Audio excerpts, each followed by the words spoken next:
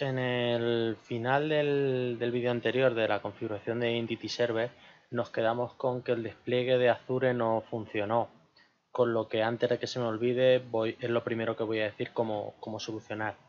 Eh, los únicos cambios que he hecho ¿vale? para que funcione es crearme el app settings, el development, ¿vale? para que él vea que es de desarrollo eh, he añadido un, initialize database on startup, ¿vale? Y eh, en, Azure, en el portal de Azure, aquí, dentro de la configuración de la aplicación de Coworking Identity, o sea, nuestro site, ¿vale? He añadido el entorno de ASP.NET Core Environment, ¿vale? Para que sea development y coja la configuración de development. Y es todo lo que he hecho, ¿vale? Ahora si le damos a Publish, eh, ya como podéis ver, pues ya usa el Discover Document y está preparado para su uso, ¿vale? Con lo que simplemente quería remarcar esto antes de, empezar con, con el siguiente módulo. Hola Doneteros, bienvenidos a una nueva entrega del curso de .NET Core.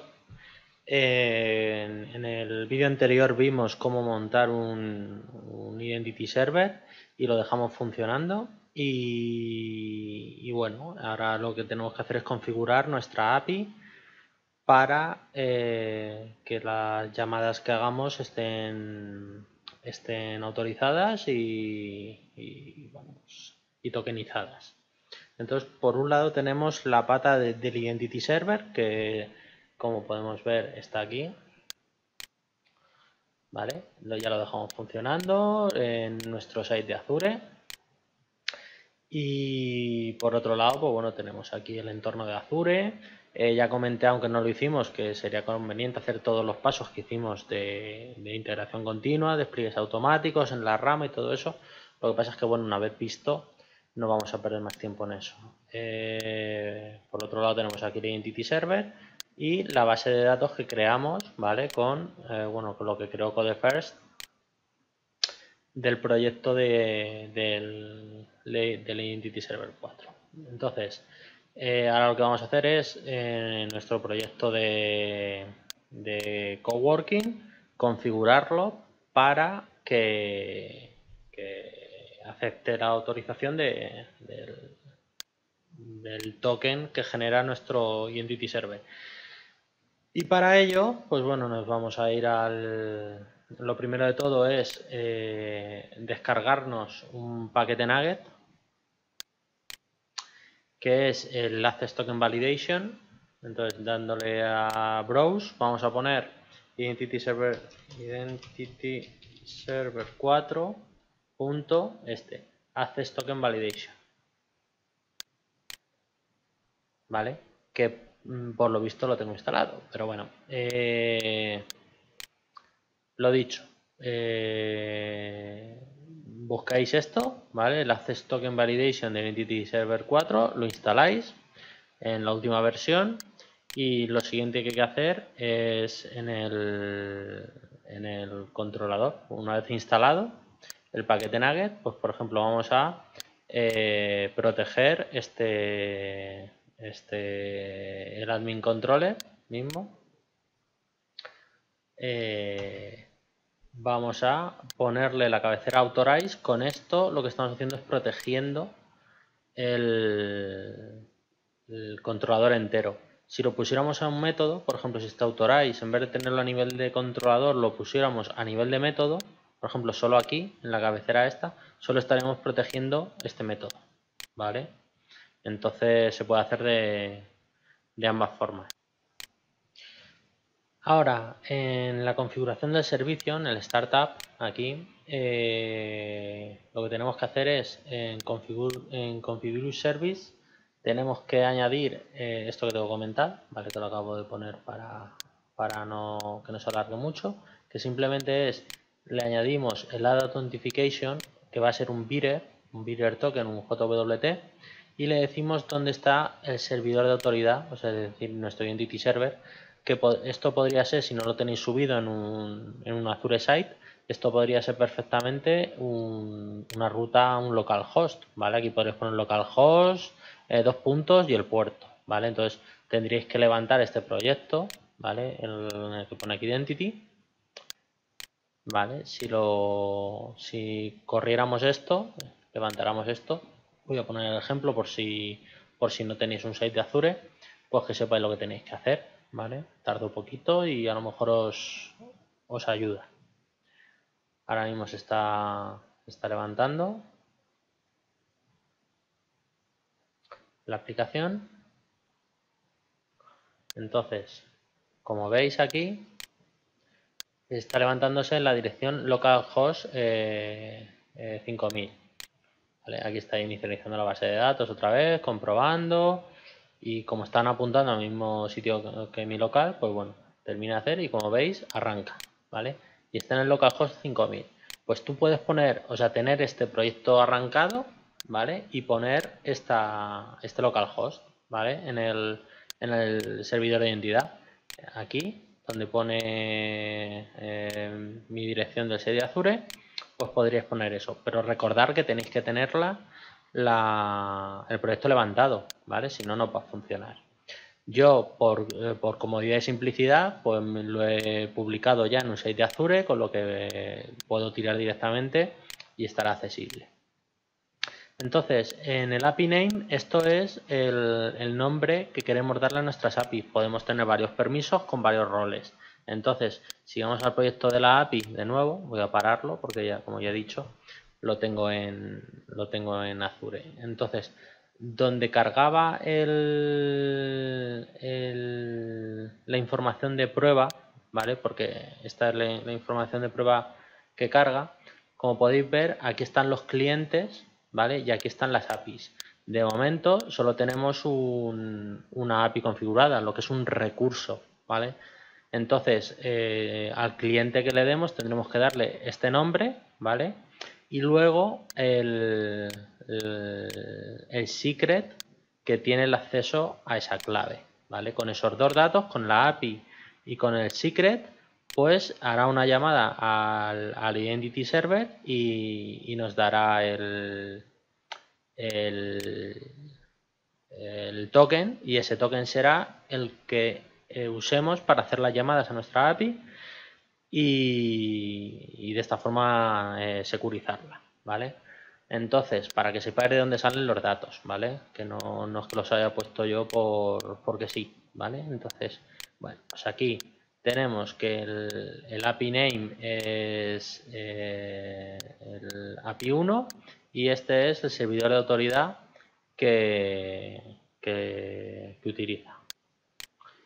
Y por último, dentro del configure application, del configure dentro del, startup, hay que usar el middleware de use authentication.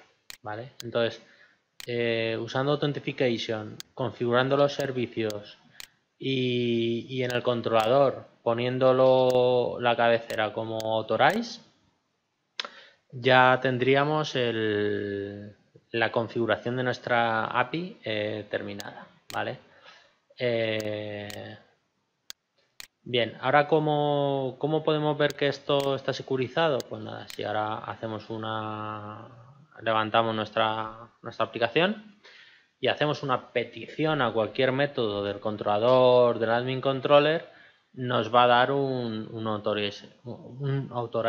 Perdón. Entonces, vamos a hacer esa prueba. Ahora mismo se está levantando. Entonces, por ejemplo, a cualquier método de admin, por ejemplo, este, al get, hacemos una ejecución y nos ha dado un 200. Pues mal. No, no, un 401, perdón. El, 200 es la response que tiene. Aquí está, mía. 401, que es un authorized. Si, eh, por ejemplo, hacemos un, una petición a cualquier otro a cualquier otro eh, endpoint, por ejemplo a este, no sé si están picados o no, pero al menos ya está ahí intentando hacer algo mm, y no nos tendría que dar un, un 401, que es el código de un authorized. Lo que no sé es si realmente este endpoint está haciendo algo o no, porque realmente, vale, ha pegado un cascotazo, creo.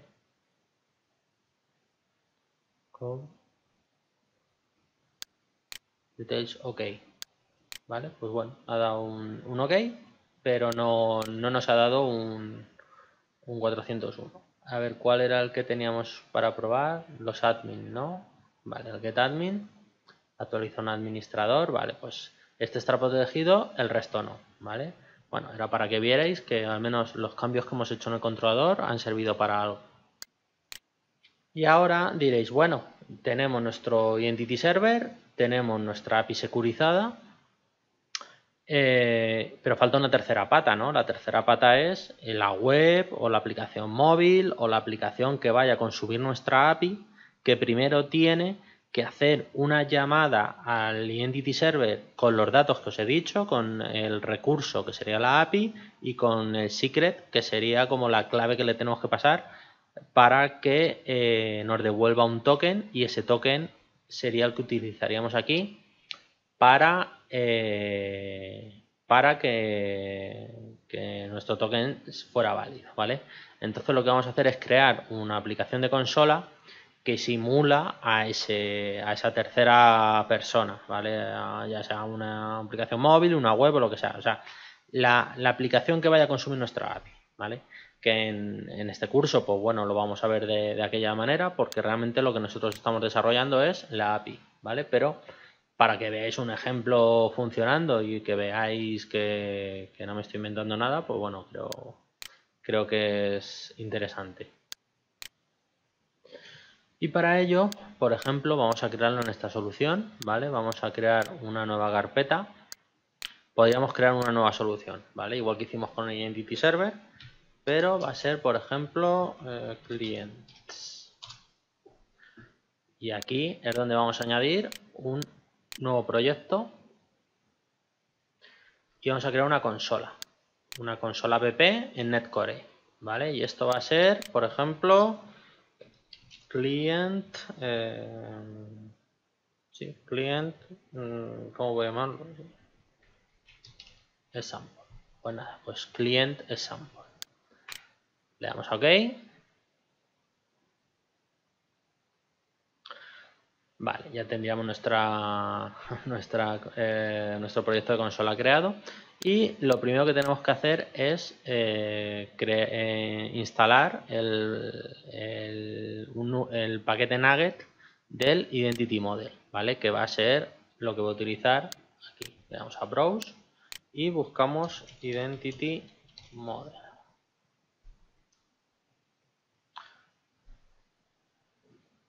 Identity Model, que es este, que es el OpenID Connect y Outdoor Client Library, este, by Dominic Bayer. ¿Vale? Entonces, seleccionamos este y lo instalamos. ¿Vale? Le damos a OK. Y bueno, ya está instalado. Ahora, como es una consola, pues vamos a meter el código directamente en, pues aquí en, el main, ¿vale? Entonces esto de momento lo quitamos, que sería el hello wow que viene por defecto. Y lo que voy a hacer es pegar el código para no tirarnos aquí media hora y lo comento. A ver, que lo tengo por aquí.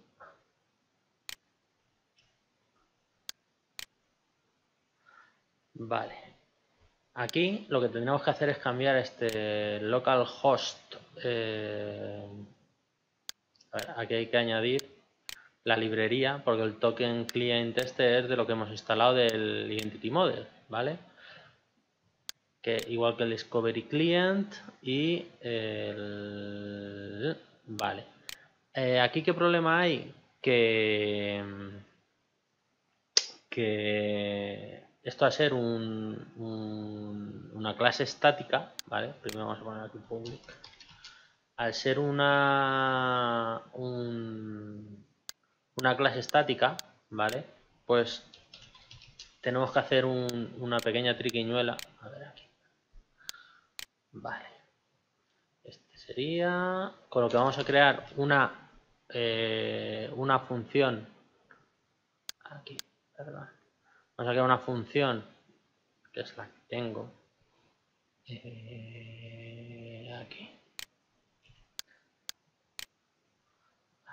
Esto, esto lo quito porque aquí que es crear una, una función estática asíncrona, ¿vale? Eh, y ahora llamar aquí con un getAwaiter a la función a la función principal, ¿vale? Entonces vamos a, vamos a dejarla.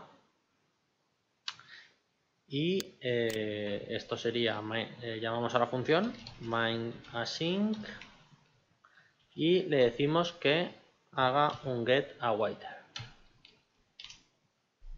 y ya estaría vale así estamos llamando a una función asíncrona porque dentro de, esta función estamos llamando a, funciones asíncronas pero este método main no puede ser eh, asíncrono con lo que así lo forzamos vale entonces por otro lado tenemos que meterle el perdón aquí Ah, bueno, hace este proyecto.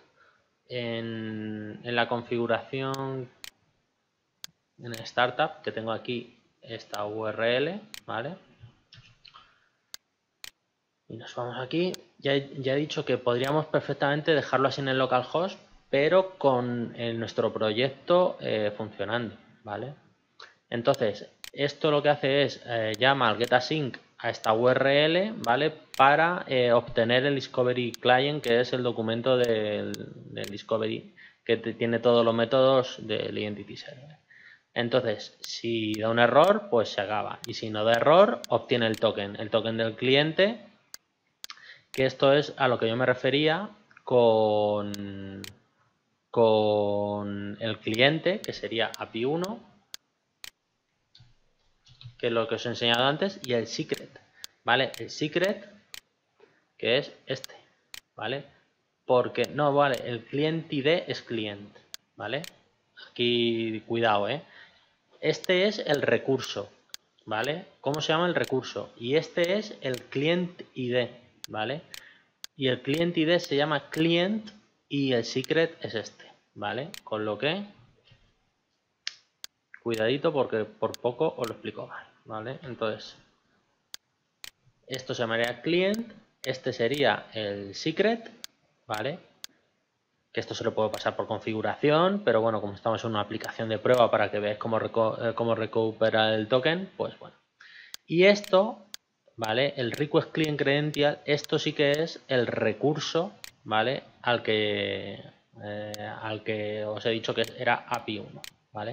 Entonces, con estas credenciales va a intentar recuperar el recurso de esta API, ¿vale? Entonces, si ese error se acaba y si no, eh, nos, pone eh, por consola el, el, token que devuelve, ¿vale? Pues vamos a poner aquí un punto de interrupción y vamos a ver qué pasa. Vamos a poner este como... Eh, aquí y le damos.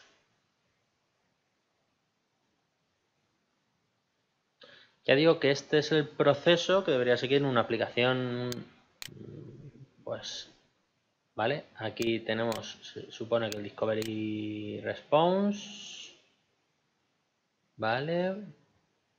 HTTPS Required, ¿vale? como no lo tengo con HTTPS, pues igual no funciona. Entonces espera. Lo que no sé es si aquí le meto un HTTPS si funcionará. Igual tenemos que tirar del del perdón, donde tengo el identity server. Aquí. ¿Vale? HTTPS, vale, pues sí que, sí que se puede poner con HTTPS. vale, estamos aquí. Con lo que nada, le he puesto un HTTPS y vamos a arrancar. Por eso me gusta hacerlo con vosotros delante y viendo qué problemas nos dan y... ¿Ha pasado algo?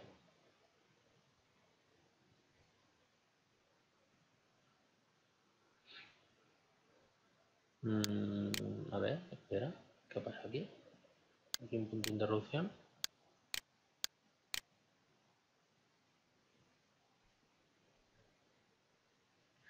Está pegando un cascotazo. Vale. Eh,